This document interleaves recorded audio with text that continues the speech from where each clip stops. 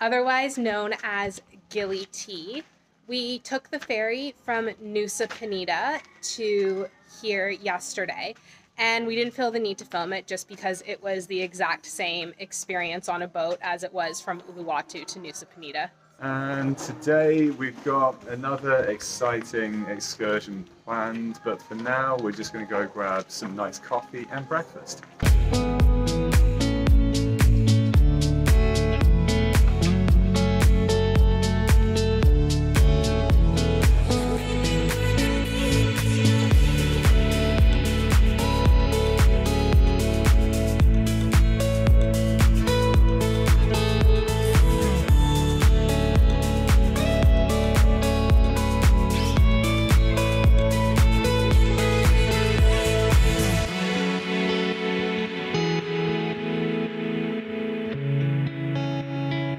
After a lovely cappuccino and some breakfast, we are now setting off on our excursion, which is, surprise, another snorkeling trip. Apparently, this is considered to be the turtle capital of the world, so we have sorted ourselves with what I think is going to be a five hour trip, which will take us around a bunch of spots all over the Gili Islands, and hopefully, we'll get to see a lot of marine life on the way. Yeah, I hope we get to see a bigger concentration of turtles than we did on Nusa Penida, but it sounds like we have a lot more stops. Like on that trip, we only had three, whereas here, because it takes us to like Gili Air, Gili Meno, and here on Gili T, I think there's probably five or six plus snorkeling stops, and it only cost us a hundred thousand rupiah each, which is like what, like nine Canadian dollars. So far, we've been outfitted with flippers. We still have no snorkels and masks, but uh, let's see how it goes.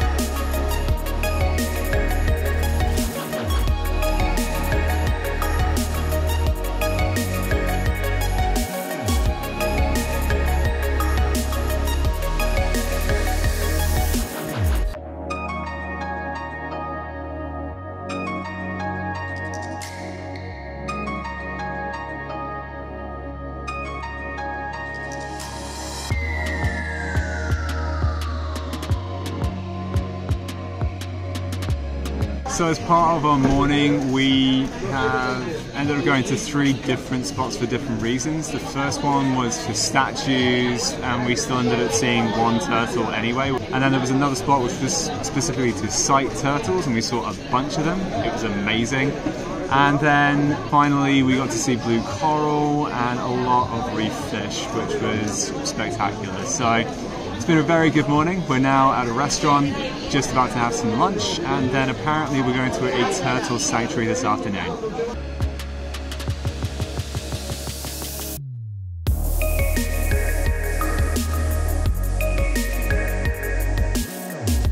We're all done with lunch now, and it's time to head back to the boat.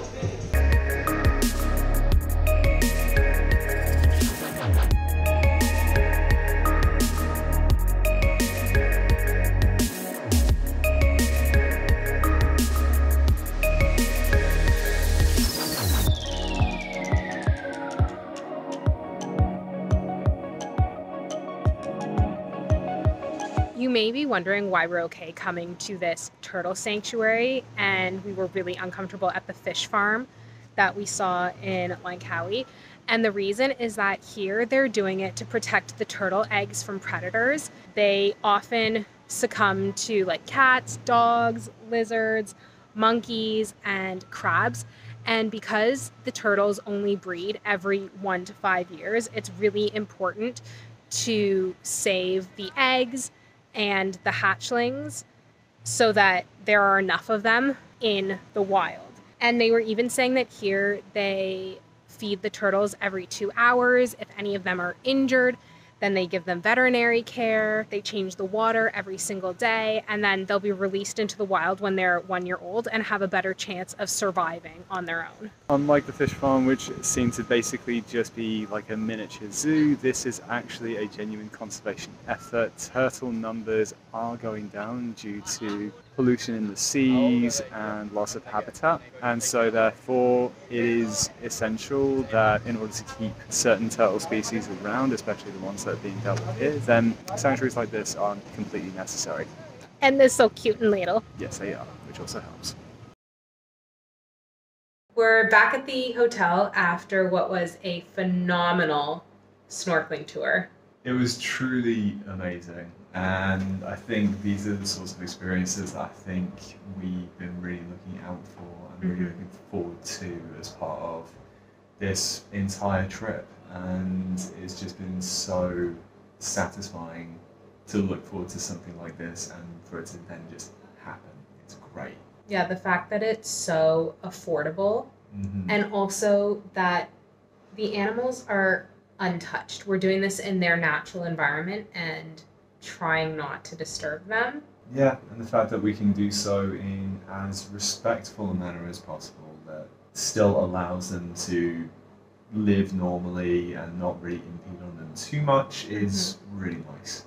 So yeah, that was truly special. And I think in the time that we've been spending editing between the end of the tour and now, then it's been great because we've been able to go through the clips together and really kind of relive the experience, which has been fantastic.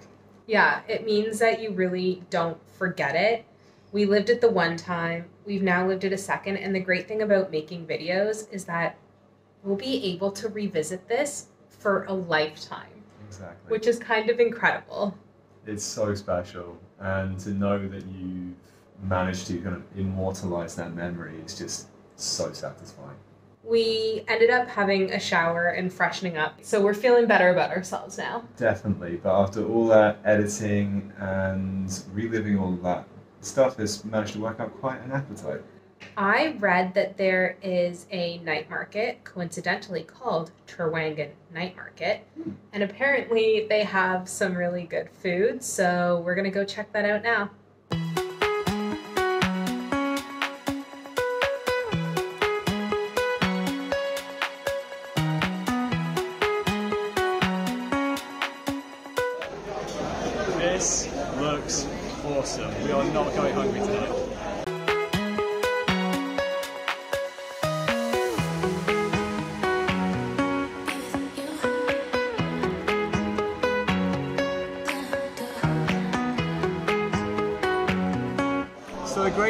About a number of the fish stands is that they also do a bunch of satay, so it's usually about 25,000 per skewer, is super cheap.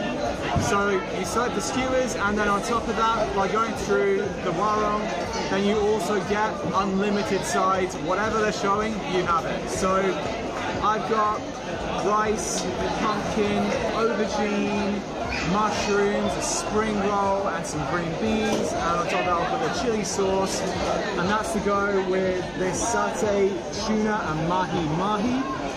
And then, Rachel, what you got? I have pumpkin, aubergine, a coconut salad with green beans, and spinach, chili sauce, and we should mention that the satay came with peanut sauce, and we're super excited to eat this. Having tried all of our sides, which can confirm perfectly seasoned, amazingly well cooked, absolutely delicious. It's now time for the main event, which is the fish. So here we go. Gonna go for some satay mahi mahi. Oh.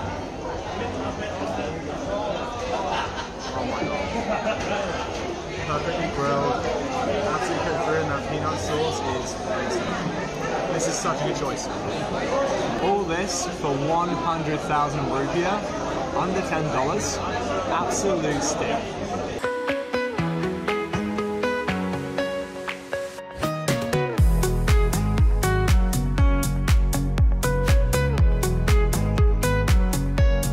Dinner was so yummy, and it kind of reminded me of when we would get like the seven curries in Sri Lanka. Because, yeah, the vegetable sides were not curries, but it was the same concept of like noodles and rice in the middle with veggie sides around it. And oh my goodness, so many different satay options like beef, chicken, fish. They even had like fish as exotic as barracuda and marlin available on the menu. Had no idea how much it would have cost, probably way too much, but very happy with the choices that we ended up making. And we saw some places where you where they could make a full grilled fish for you. So we might end up doing that another night, we'll see.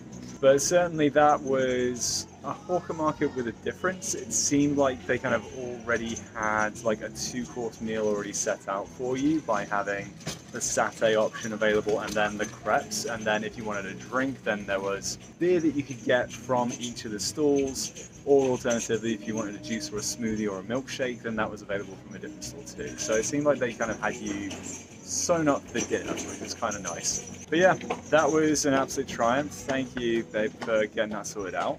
In all fairness, I can't take credit for it. I just read about it on a blog, and uh, yeah, that night market lived up to its name, and you should definitely go. I'm sure we'll be back while we're still here on Gili. I'm still giving you credit. You did the research. Um, definitely more research than I did. Anyway, that's going to be us for tonight. So until next time, take care. And keep smiling. Should I say? I don't know. I'm so awkward.